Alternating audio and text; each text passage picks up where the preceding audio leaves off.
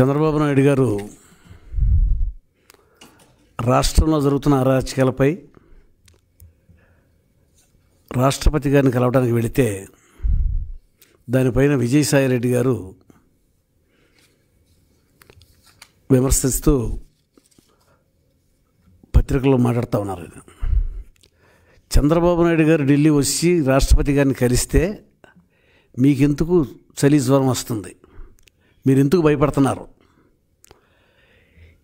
ఇవాళ ఈ రాష్ట్రంలో పరిపాలన అస్తవ్యస్తంగా ఉండబట్టి అరాచక పరిపాలన జరుగుతున్నది కాబట్టి ఇక్కడ ప్రతిపక్షాలకు రక్షణ లేదు కాబట్టి ఇవాళ రోజున ఈ రాష్ట్రం యొక్క పరిస్థితిని వివరించడానికి చంద్రబాబు నాయుడు గారు రాష్ట్రపతి గారు కలవటానికి అపాయింట్మెంట్ ఇస్తే కలవటానికి వెళ్ళారు కలిసి సమస్యలని చెప్పారు. ఇందులో విజయసాయి రెడ్డి గారికి వైఎస్ఆర్ పార్టీకి అంత భయం ఎందుకో వారే చెప్పాలి. ఇవాళ ప్రెస్లో మాట్లాడుతూ ఆయన చంద్రబాబు నాయుడు ఒక టెర్రరిస్ట్ అని మాట్లాడుతూ ఉన్నాడు. చంద్రబాబు నాయుడు గారు హత్యలు చేయిస్తాడు దుర్మార్గుడు అని చెప్పి మాట్లాడుతూ ఉన్నాడు.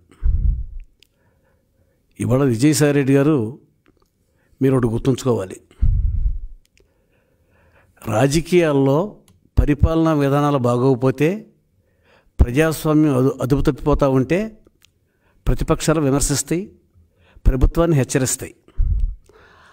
అంత మాత్రాన మీరు ఎవరైతే విమర్శించారో ఇవాళ మన రాష్ట్రంలో హెరాయిన్ ముద్ర పొట్లు దొరికింది. కొన్ని లక్షల కోట్ల రూపాయలు విలువ చేసే హెరాయిన్.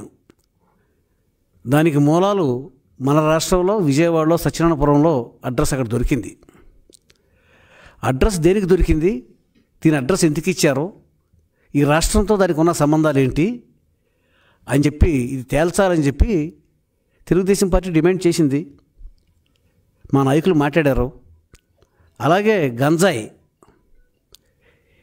రాష్ట్రంలో ఉత్పత్తి అయిన గంజాయి దేశవ్యాప్తంగా అన్ని రాష్ట్రాల్లో దొరుకుతూ ఉంటే పట్టుబడిన ప్రతి చోట కూడా ఇది ఆంధ్రప్రదేశ్ నుంచే వచ్చిందని చెప్తూ ఉంటే అంతేకాకుండా మద్యం ధరలు విపరీతంగా పెంచడం వల్ల చాలామంది చౌకగా దొరికే గంజాయికి అలవాటు పడి రాష్ట్రం అంతా కూడా గంజాయి మత్తులో మునిగి తేలుతూ ఉంది. యువత నిర్వీర్యం అయిపోతూ ఉంది. గంజాయికి అలవాటు పడి మనుషుల యొక్క ఆరోగ్యాన్ని మానసిక పరిస్థితిని పూర్తిగా కోల్పోతూ ఉన్నారు. అటువంటి పరిస్థితుల్లో రాష్ట్రం ఉంటే ఈ యొక్క అవినీతి పరిపాలన గురించి అరాచక పరిపాలన గురించి రాజకీయాల్లో విమర్శిస్తారు. మీరు దాన్ని సరిదిద్దుకోవాలి దాన్ని సూచనగా భావించాలి. గతంలో కూడా మరి ఇలాంటి విమర్శలు చాలాసార్లు చాలా రాజకీయ పార్టీలు చేసుకుంటాయి. అది సద్విమర్శగా తీసుకోవాలి. దాని నుంచి అది ఒక సూచనగా తీసుకుని దాన్ని రెక్టిఫై చేసుకునే ప్రయత్నం చేయాలి. మిమ్మల్ని విమర్శిస్తే వారిపైన దాడులు చేయటం తప్పుడు కేసులు బనాయించటం.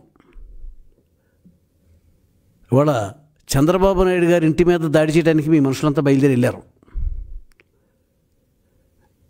దాన్ని ఎందుకు సమర్థించారు మీరు? అలా బయలుదేరట వెళ్తామనే దాన్ని తప్పుగా మీరు ఎందుకు భావించలేదు? ఎవరైతే దాడి చేయడానికి బయలుదేరారో వాళ్ళ పైన మీరు చర్య తీసుకోవాలి. ఒక మాజీ ముఖ్యమంత్రి ఇంటిపైన దాడి చేయటాన్ని మీరు ఖండించాలి. ఇవాళ అక్రమ కేసులు అచ్చెన్నాయుడు గారి మీద కొల్లు రవీంద్ర గారి మీద దేవినేని ఉమామేశ్వర గారి మీద దూడిపాడు నరేంద్ర గారి మీద. ఇవాళ ఎంతమంది మీద మీరు విమర్శ మిమ్మల్ని విమర్శిస్తే మీలో ఉన్న తప్పుల్ని ఎత్తి చూపితే వాళ్ళ గొంతు నొక్కాలని చెప్పి చింతమనేని ప్రభాకర్ మీద అయితే ఓ ముప్పై కేసులు పెట్టారు. ఒక మనుషుల్ని తప్పుడు కేసులు బనాయించటం దాడులు చేయటం. ఇవన్నీ కూడాను రాజకీయాల్లో విమర్శలు ఉంటాయి మేము మేము అధికారంలో ఉన్నప్పుడు కూడా మమ్మల్ని కూడా విమర్శించారు. దాన్ని మేము ఒక సలహా కింద ఒక సూచన కింద తీసుకుని దాన్ని రెక్టిఫై చేసుకుంటా ట్రై చేస్తాం మీరైతే విమర్శించే వాళ్ళ గొంతు నొక్కటానికి ట్రై చేస్తున్నారు. తెలుగుదేశం పార్టీ జాతీయ కార్యాలయం మీద మీరు దాడి చేశారు. అనేక మందిని తలలో పగలగొట్టారు కాళ్ళు విరగొట్టారు మన చరిత్రలో కని విని ఎరిగినటువంటి దుర్మార్గం ఇది. మరి ఇవాళ రోజున ఇటువంటి సంఘటనలన్నీ కూడాను రాష్ట్రంలో రక్షణ లేనప్పుడు రాష్ట్రంలో మనకు భద్రత లేనప్పుడు కేంద్రం జోక్యం చేసుకోవాలి. కేంద్రం జోక్యం చేసుకొని ఈ రాష్ట్ర ప్రభుత్వాన్ని రద్దు చేసి కేంద్ర పరి కేంద్ర పరిపాలన పెట్టాల్సిన అవసరం ఉంటే కేంద్ర పరిపాలన పెట్టాలి. ప్రెసిడెంట్ పర్ రూల్ పెట్టాలి. అవసరం వస్తే మళ్ళీ ఎలక్షన్లు పెట్టాలి.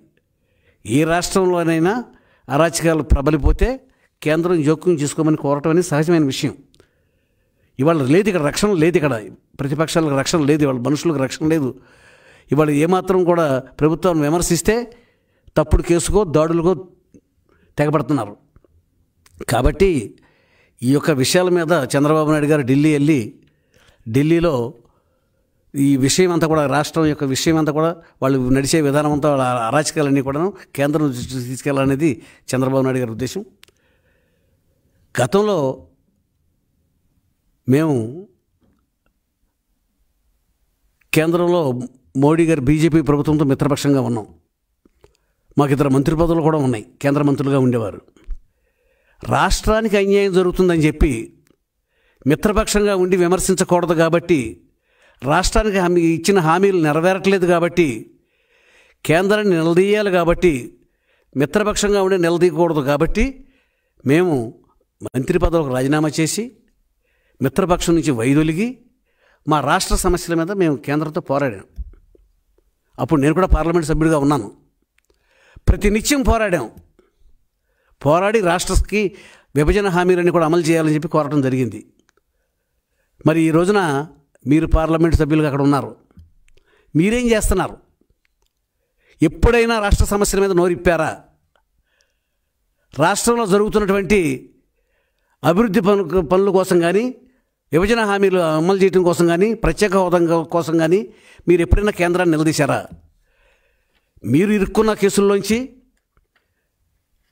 మీరు సిబిఐ కేసులు మీ మీద ఉన్నాయి. కేసుల్లో ముద్దాయిలుగా ఉన్నారు చాలా కాలం జైల్లో ఉన్నారు బెయిల్ మీద బయటకు వచ్చి ఉన్నారు. మీ కేసులోంచి బయటపడాలని చెప్పి కేంద్రానికి అడుగులు మడుగులొత్తుతూ నోరిప్పితే మీకు ఎక్కడ ప్రమాదం జరుగుద్దు అని చెప్పి నోరిప్పకుండా రాష్ట్ర ప్రయోజనాలు కాపాడకుండా రాష్ట్రం అన్ని రకాలుగా మనం దెబ్బతినిపోతూ ఉంటే చోద్యం చూస్తూ ఉన్నారు మీరు. మీరా మమ్మల్ని విమర్శించేది.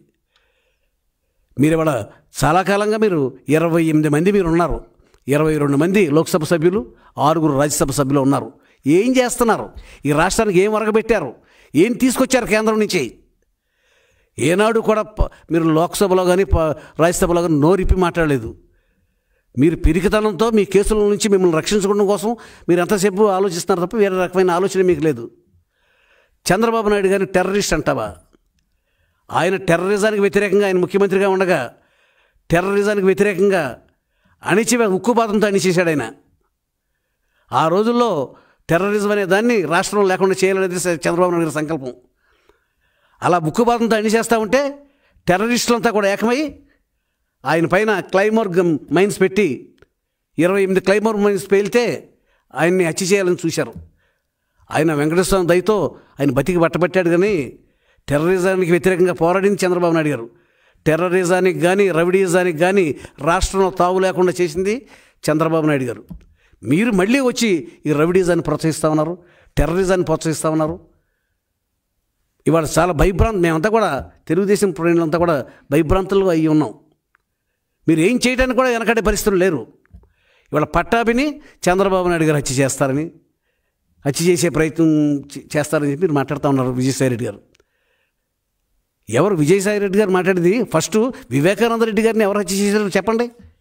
అయిన వాళ్ళని హత్య చేసే సాంప్రదాయం ఇటువంటి సంస్కృతి మాకు లేదు. అసలు హత్యా రాజకీయాలను మేము ప్రోత్సహించం. ఇవాళ రోజున పట్టాభి గారిని మీరు ఆయన వ్యాఖ్యల్ని మీరు సరిగ్గా అర్థం చేసుకోలేక మీరు ఆయన మీద కక్ష పెంచుకుంటా ఉన్నారు. ఆయన మీద తప్పుడు కేసులు పెట్టి జైలుకి పంపించారు. ఆయన ఇరవై నాలుగు గంటలు గడక ముందే బయలు బయటకు వచ్చాడు ఆయన. అంటే మీది ఎంత తప్పుడు కేసో మీరు అర్థం చేసుకోవాలి. మీరు సరిగ్గా మీరు గనక ఆయన ఇచ్చిన స్టేట్మెంట్ కనుక మరీ ఒకటి రెండు సార్లు పరిశీలిస్తే అతను విమర్ అతను ఎవరిని కూడా ఉద్దేశించి విమర్శించింది కాదు అది. రాష్ట్రంలో గంజాయి ఎక్కువగా ఉంది దాన్ని అరికట్టాలి. మీరు అనవసరంగా మీరు మీరు రా- యువత నిర్వే నిర్వీర్యమైపోతుంది అని చెప్పి మాట్లాడారు తప్ప అతను వేరే రకంగా మాట్లాడాల. ఇవాళ రోజున మీరు హత్య చేస్తారేమో ఒక భయంగా ఉంది. నింద మా మీద నెట్టి మా మీద దుష్ప్రచారం చేసి మీకు పట్టాభిని హత్య చేసే ఉద్దేశం మీకు మనసులో ఉంది. అటువంటి హత్య రాజకీయాలు చేయొద్దు. దయచేసి రాజకీయాల్లో విమర్శించుకుంటాం అనేది సర్వసామాన్యమైన విషయం. చంద్రబాబు నాయుడు గారిని మీరు ఎన్నిసార్లు విమర్శించారు? చంద్రబాబును చెప్పుతో కొట్టాలి. ఇది సద్విమర్శ. చెప్పుతో కొట్టాలి. మా నాయకుడిని చెప్పుతో కొడతారా మీరు? కొడితే మేము ఊరుకోవాలా? అయినా రాజకీయాల్లో మాట్లాడతారు. బాబును బంగాళాఖాతంలో కలపాలి. ఏంటి? మీకున్న సంస్కారం ఏంటి? మీరు రాజకీయాల్లో మమ్మల్ని విమర్శి చెప్పులు రాళ్ళు పెట్టి చంద్రబాబును కొట్టండి. మీరు చంద్రబాబు నాయుడు గారు ముఖ్యమంత్రిగా ఉండగా మీరు ఓదార్పు యాత్రలు చేసుకోవచ్చు పాదయాత్రలు చేశారు. అనేక బహిరంగ సభలు పెట్టారు. ఆ రోజున చంద్రబాబు నాయుడు గారు మీకు ఎలా సహకరించారు? మీరు పెట్టే ప్రతి మీటింగ్కి పోలీసు రక్షణ కల్పించి ఏ ఒక్క మీ యాత్రను ఎప్పుడు కూడా అడ్డుకోలే ఆయన? మీరు ఓదార్పు యాత్ర చేసినా పాదయాత్ర చేసినా అనేక పోరాటాలు చేసినా ప్రతిదానికి కూడా గవర్నమెంట్ మీకు మద్దతుగా ఉండి మీరు చే మీరు మాట్లాడే హక్కు అనేది ప్రజాస్వామ్యంలో మాట్లాడే హక్కు ఉంది. మీరు మాట్లాడే హక్కును మేము రక్షించాము మీరు మాట్లాడతానంటే మీకు పోలీసు రక్షణ కల్పించి మాట్లాడించే అవకాశం ఇచ్చాము ఇవాళ మీరు మేము ఏ మీటింగ్ పెట్టినా కూడా మీటింగ్కి అనుమతులు లేవు. హౌస్ అరెస్టులు తీసుకెళ్ళి జైల్లో కూర్చోబెడతారు. ఏ రకమైన విమర్శ చేయకూడదు. తీసుకెళ్ళి తప్పుడు కేసులు పెడతారు. ఇవాళ రోజున విజయసాయిరెడ్డి మాట్లాడుతూ ఉన్నాడు. మీరు రాష్ట్రం గురించి మాట్లాడండి. చంద్రబాబు నాయుడు గారి గురించి చంద్రబాబు నాయుడు గారు ఈ రాష్ట్రంలో అద్దానమైన పరిస్థితుల్ని కేంద్రానికి వివరించడానికి వెళ్ళారు. రాష్ట్రపతి గారు రాష్ట్రపతి గారు అపాయింట్మెంట్ ఇచ్చారు. వెళ్ళాం రాష్ట్ర సమస్యలని చెప్పాం. మీరు ఎంత బెదిరించినా ఎన్ని తప్పుడు కేసులు పెట్టినా ఈ రాష్ట్ర ప్రజల కోసం ప్రజాస్వామ్యం కాపాడటం కోసం తెలుగుదేశం పార్టీ ఎప్పుడు పనిచేస్తూనే ఉంటుంది పోరాడుతూనే ఉంటుంది. అందరికీ నమస్కారం.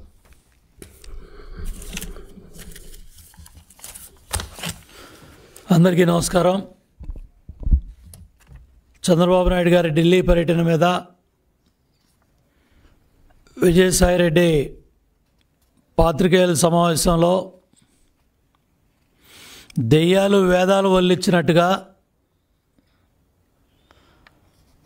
వాళ్ళ అసమర్థతని కప్పుపుచ్చుకునే విధంగా ఎదుటి వ్యక్తుల మీద బురజల్లే విధంగా బాధ్యతారాహిత్యంగా మాట్లాడారు. జగన్ ఢిల్లీ పర్యటనకు బ్రేకు. దేనికి బ్రేకో సాయిరెడ్డి చెప్పడం. జగన్ ఢిల్లీ పర్యటన బ్రేకు. ఆఖరి నిమిషంలో అపాయింట్మెంట్ రద్దు చేసిన షా. దీని గురించి మాట్లాడ్డాం. రమ్మన్నారు ఆగమన్నారు. రమ్మని ఎందుకు ఆగమన్నారు సాయిరెడ్డి? ముఖ్యమంత్రి జగన్ని ఢిల్లీకి పిలిచిన అమిత్ షా ఆ తర్వాత అక్కర్లేదని సమాచారం కారణాలపై రకరకాల ప్రచారం. ఇది నేను చెప్పలేదే. ప్రధాన దినపత్రికలు చెప్తున్నాయి సాయిరెడ్డి. ప్రధాన దినపత్రికలో సీఎం ఢిల్లీ పర్యటన వాయిదా. ఖరారు కాని కేంద్ర మంత్రుల అపాయింట్మెంట్. సాయిరెడ్డి ఈ నీకు కనపడావు. దీని గురించి నువ్వు మాట్లాడావు.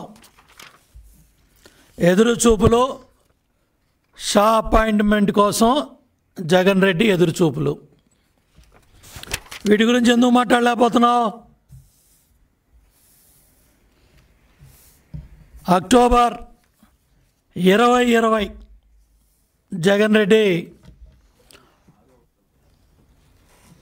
మొదటి వారంలో ప్రధానమంత్రి గారిని కలిసినట్టు నాకున్న సమాచారం. మీడియా మిత్రులు చెప్పిన దాన్ని బట్టి.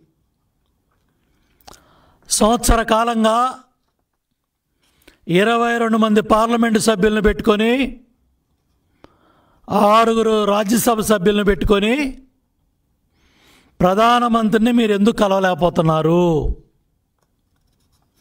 ఎందుకు అపాయింట్మెంట్ తీసుకోలేకపోతున్నారు? పోలవరానికి నిధులు తీసుకొచ్చే సామర్థ్యం మీకుందా? ప్రత్యేక హోదా గొంతు చించుకున్నారు కదా? ఇరవై ఐదు మంది ఎంపీలు ఇస్తే చాలన్నావు కదా?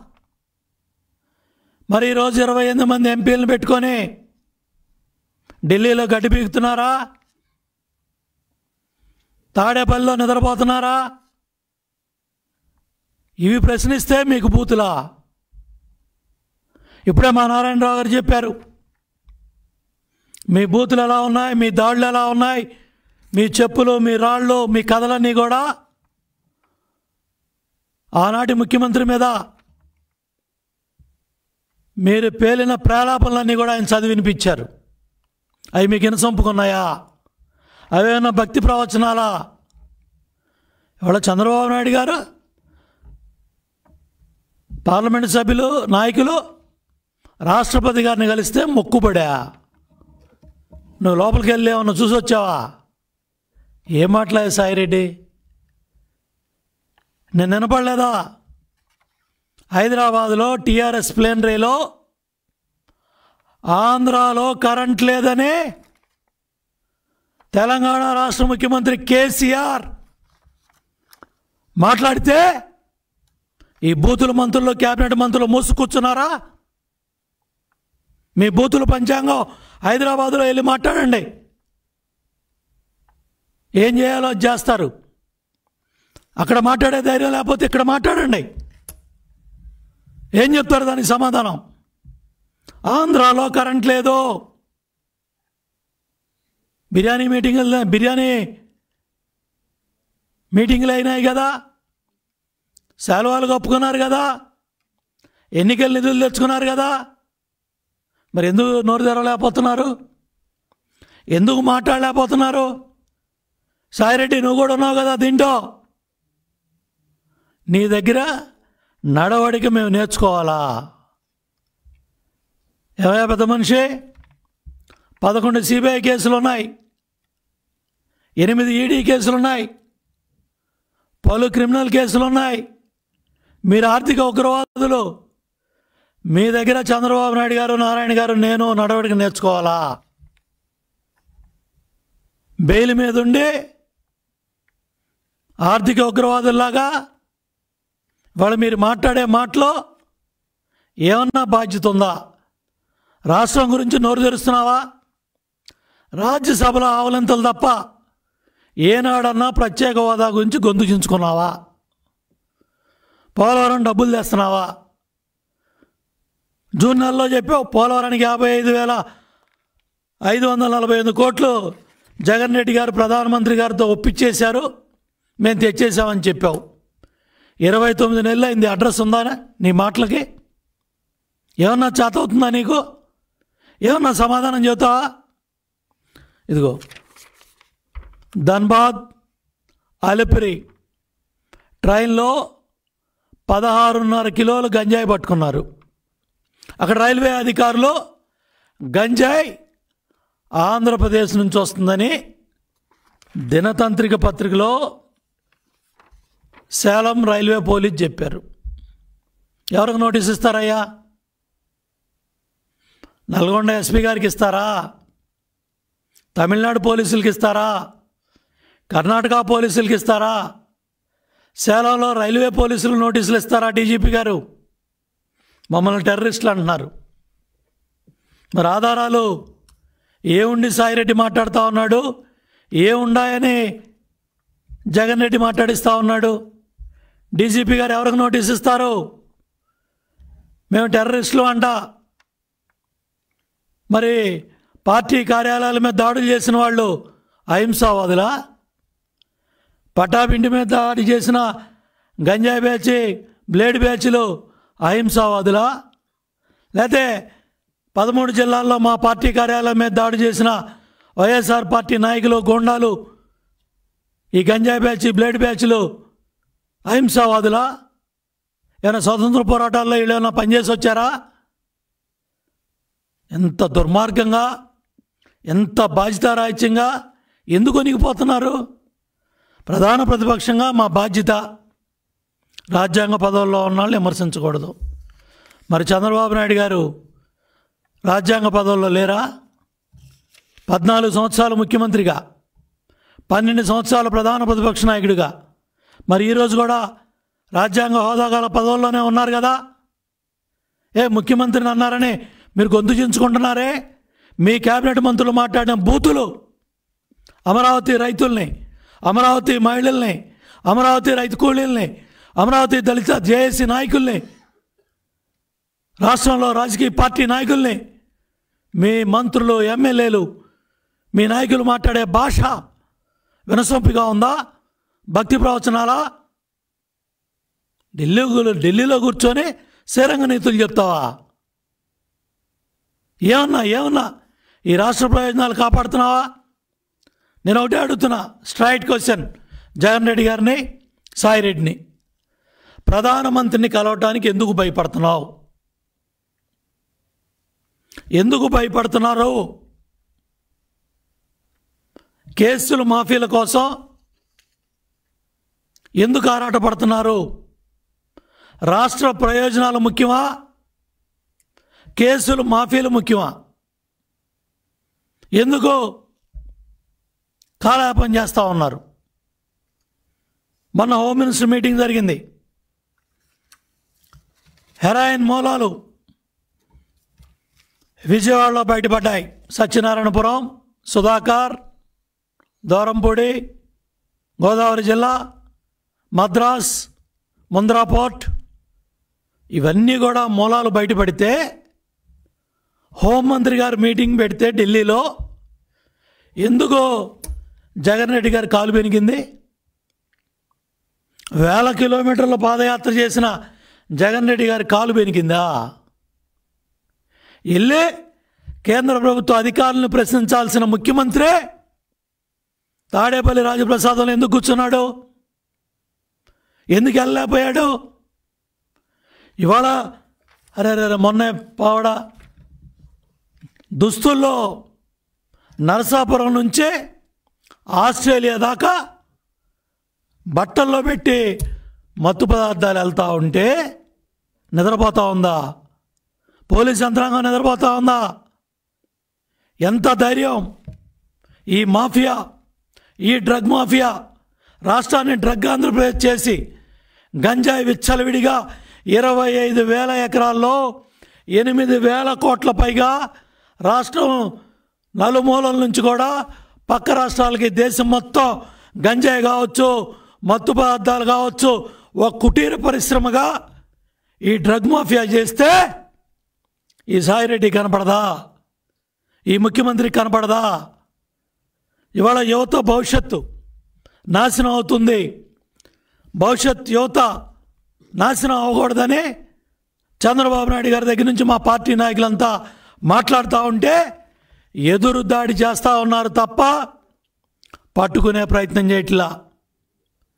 ఇవాళ దక్షిణాఫ్రికా సౌత్ ఆఫ్రికా బ్రాండ్లు నాసిరకం మద్యం బ్రాండ్లు విచ్చలవిడిగా రాష్ట్రంలో దించి ఇవాళ ప్రజల ఆరోగ్యాన్ని పేదలు ఎవరైతే అలవాటు పడ్డారో వాళ్ళ ఆరోగ్యాన్ని దెబ్బతీస్తూ నాసిరకం మద్యం సప్లై చేస్తూ దాన్నే తయారు చేస్తూ లేబుళ్ళు కూడా మీరే అంటించుకుంటూ వ్యక్తులు కూడా మీ మనుషుల్నే షాపుల్లో పెట్టుకుంటూ క్యాష్ అండ్ క్యారీ. ఎక్కడ ఏ గూగుల్ పే లేదు ఎక్కడ ఆన్లైన్ పేమెంట్ లేదు. ఈ రాష్ట్రంలో దొరికే ఇసుక కావచ్చు ఈ రాష్ట్రంలో దొరికే లిక్కర్ కావచ్చు మొత్తం క్యాష్ అండ్ క్యారీ మొత్తం డబ్బంతా కూడా కేంద్రీకృతం అవుతూ ఉంటే ఎందుకు మాట్లాడవు సాయిరెడ్డి? ఎందుకు దీని గురించి మాట్లాడరు? ఇదే కదా మేము అడిగింది. డీజీపీని రా రీకాల్ చేయండి. అరాచకాలు జరుగుతున్నాయి. కేంద్ర పార్టీ కార్యాలయం మీద దాడి చేశారు. పటాబీ ఇంటి మీద దాడి చేశారు. నాయకుల మీద దాడులు చేస్తున్నారు. దీని మీద సిబిఐ విచారణ అడిగితే ఎందుకు ఉలిక్కి పడుతున్నారు? ఇంకా ఢిల్లీలో చలికాలం రాలేదు కదా. నీకెందుకు కొనుక్కొచ్చింది అప్పుడే? కాబట్టి మేము ప్రభుత్వాన్ని డిమాండ్ చేస్తున్నాం. బాధ్యత రాజ్యంగా ఇష్టారాజ్యంగా ఇరవై ఎనిమిది క్లైమేర్ మైన్లు ఎత్తు ఎదుర్కొని ఈ టెర్రరిజం మీద నక్సలిజం మీద పోరాటం చేసి ప్రాణాలకు తెగించి ఆనాడు చంద్రబాబు నాయుడు గారు మృత్యుంజయుడిగా బయటకు వచ్చారు ఇవాళ మీరు మమ్మల్ని టెర్రరిస్టులుగానో లేదా మమ్మల్ని ఏదో శక్తులుగానో మీరు పోలి పోలిస్తే ప్రజలు నమ్మటానికి సిద్ధంగా లేరు. మేము అడిగే ప్రశ్నలకు సమాధానం చెప్పండి. రాష్ట్రంలో చంద్రబాబు నాయుడు కియా కారు పరిశ్రమ తెచ్చారు. లక్షలాది కార్లు ఇవాళ దేశంలో విదేశాల్లో తిరుగుతూ ఉన్నాయి. ఈ అశోక్ లేలాండ్ ఈ ఈ జిల్లాలోనే తీసుకొచ్చారు. కృష్ణా జిల్లాలో. హీరో హోండా తీసుకొచ్చారు. ఐటీ పరిశ్రమలు తీసుకొచ్చారు. ఇవాళ మీ పరిపాలనలో పది లక్షల కోట్ల పరిశ్రమలు బయట రాష్ట్రాలకు వెళ్ళిపోయాయి. నిన్నే కదా కేసీఆర్ అన్నారు తలసరి ఆదాయం లక్ష డెబ్బై వేలు ఆంధ్రాలో ఉంటే రెండు లక్షల ముప్పై ఆరు వేలు మా తెలంగాణలో ఉందని ఆయన మాట్లాడుతూ ఉంటే మీకు సిగ్గుగా లేదా? సిగ్గుపడొద్దా? ఇరవై తొమ్మిది నెలల్లో రాష్ట్రాన్ని ఈ విధంగా నాశనం చేసినందుకు భ్రష్టు పట్టించినందుకు సిగ్గుపడాల్సిన అవసరం లేదా? ఎక్కడన్నా పరిపాలన కనపడతా ఉందా? మీరేసే మీరు నొక్కే మీటాల్లో పడే డబ్బు ఎవరికి వెళ్తూ ఉంది మీరేసిన లచ్చ కోట్లు ఎవరో ఎవరి అకౌంట్లో పడతా ఉన్నాయి? వైట్ పేపర్ రిలీజ్ చేయగలరా? ఏ గ్రామంలో ఏ మండలంలో ఏ నియోజకవర్గంలో ఏ మున్సిపాలిటీలో ఏ కార్పొరేషన్లో ఏ యాడ్స్ కింద ఏ పథకాల కింద మీరు డబ్బేశారో చెప్పండి. వైట్ పేపర్ రిలీజ్ చేయండి. శ్వేతపత్రం రిలీజ్ చేయండి. లక్షల కోట్ల రూపాయలు ప పేపర్లకి యాడ్లు ఇచ్చుకుంటా మీ సాక్షి దినపత్రిక ఛానళ్ళకి వందల కోట్లు అడ్వర్టైజ్మెంట్లు ఇచ్చుకుంటా ఎవరిని మోసం చేద్దామని? ఎవరు మీరు ఈ మీటర్లు నొక్కే పని మీరే అవసరం లేదే. ఏ ఫైనాన్స్ డిపార్ట్మెంట్లో గుమస్తాలు సరిపోతారు. ఇవాళ పరిపాలన చేయటం అంటే సంపద సృష్టించి రాష్ట్రాన్ని ముందుకు తీసుకెళ్ళటం చేతకాక రాష్ట్రాన్ని అప్పుల ఆంధ్రప్రదేశ్ చేసి ఇవాళ నలభై ఒక్క వేల కోట్లు డబ్బులు కనపట్ల. ఏజీ ఆఫీస్ లెక్కలు అడుగుతుంది. సమాధానం చెప్పడానికి ఆర్థిక మంత్రి లేడు. వ్యవసాయ శాఖ మంత్రి కాంప్లెక్స్ ఎరువులు దొరకట్లా. లేకపోతే పొటాష్ దొరకట్లా. బ్లాక్లో అమ్ముతున్నారు. ఏనాడన్నా వ్యవసాయ శాఖ మంత్రి మాట్లాడుతున్నాడా? మైలవరం నియోజకవర్గం మైలవరం మండలంలో పుల్లూరు గ్రామంలో పంట నష్టపరిహారం మామిడి పంటకి పామాయిల్కి లేకపోతే వరి చేనుకి పత్తి పంట నష్టపరిహారం కింద దళారులు వైఎస్ఆర్ కాంగ్రెస్ నాయకులు ఆధార్ కార్డులు మార్చి కౌలు రైతు కార్డులు మార్చి అడ్డగోలుగా రైతు భరోసా కేంద్రంలో ఒక ఉద్యోగస్తుని అడ్డం పెట్టుకొని ఇంత అరాచకాలకు పాల్పడతా ఉంటే మంత్రి కన్నబాబు కనపట్టలేదా? మంత్రి కన్నబాబు మాట్లాడ్డా? ముప్పై వేల మంది రేషన్ డీలర్లో జీవో నెంబర్ పది.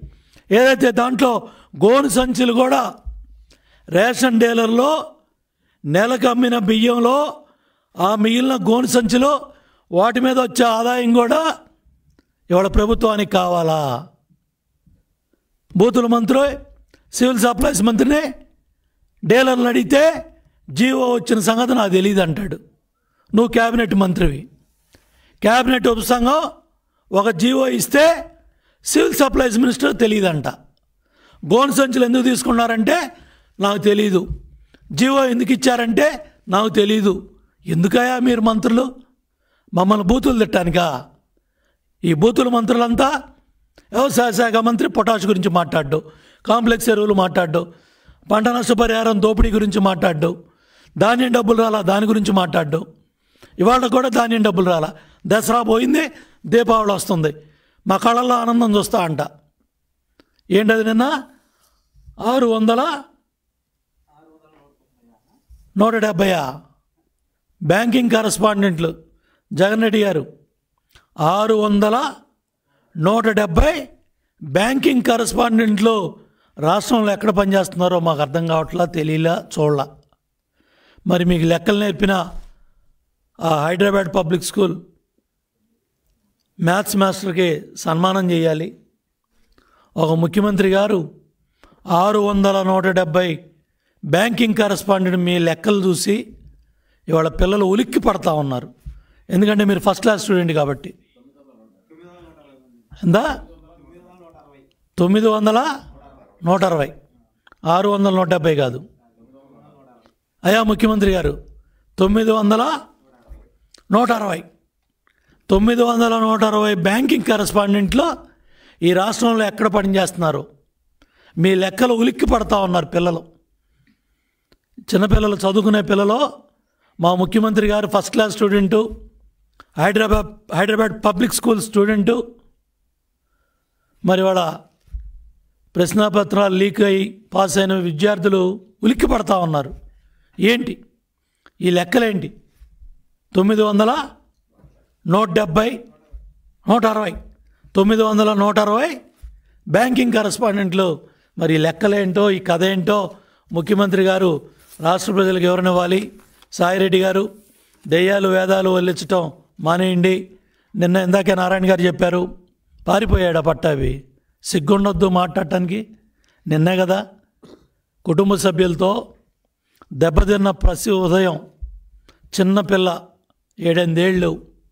ఆ పిల్ల ఇంట్లో ఉన్నప్పుడు మహిళలు ఇంట్లో ఉన్నప్పుడు వందల మంది గోండాల్లాగా ఇంటి మీద పడి పట్టాభి ధ్వంసం చేసి ఆ చిన్నపిల్ల హృదయం గాయపడి ఆ పాప ఆ బాత్రూంలో ఉంటే ఆ బాయి గాయపడ్డ పసి హృదయాన్ని మళ్ళీ తండ్రిగా నా బాధ్యతను నేను నిర్వర్తించుకోవడానికి కుటుంబ సభ్యులతో కలిసి నేను వెళ్ళాను. చంద్రబాబు గారి నాయకత్వంలో లోకేష్ గారి నాయకత్వంలో ఏదైతే ఈ రాష్ట్రంలో జరుగుతూ ఉన్న గంజాయి సాగు కావచ్చు మాఫియా ఆకడాలు కావచ్చు ప్రభుత్వ వైఫల్యాలు కావచ్చు ప్రభుత్వ అవినీతి మీద తెలుగుదేశం పార్టీ జాతీయ అధికార ప్రతినిధిగా నేను మళ్ళీ నా పోరాటాన్ని కొనసాగిస్తాను. త్వరలో మీ ముందుకు వస్తానని ప్రజలకు ఆయన నిన్న మరి వీడియో కూడా పంపిస్తే ఆ సమాచారం కూడా అన్ని మీడియా ఛానల్స్లో వస్తే నీ కుట్రపూరిత బుద్ధి. నీ శకునుమామ బుద్ధి మీ ఒక పైచాచిక ఆనందం మా నాయకుల మీద మా మీద దాడి చల్లే విధంగా దాడి చే దాడి చే దాడి దాడి చేసే విధంగా బురద చల్లే విధంగా నీ నీచ ప్రవృత్తిని బయట పెట్టుకున్నావు సాయిరెడ్డి. ఇటువంటి కుట్రలో కుతంత్రాలు మానేయండి. ప్రజాస్వామ్యంలో ఇవి కరెక్ట్ కాదు. ఇవి చాలా దుర్మార్గం. ఇటువంటి నీచమైన భాష ఇటువంటి కుట్రలో కుతంత్రాలు ఆపాలని తెలియజేస్తూ సెలవు తీసుకుంటున్నాను.